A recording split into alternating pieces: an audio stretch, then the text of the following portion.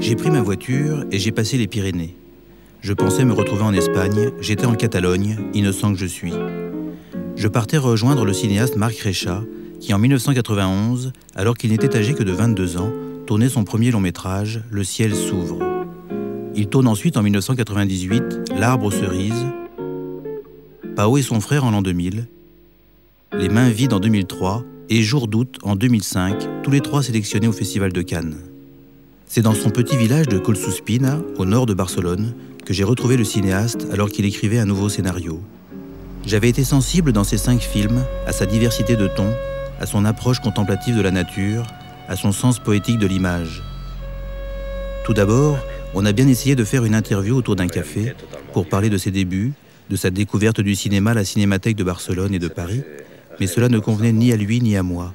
Trop figé, trop conventionnel. Et puis Marc Recha est quelqu'un de secret.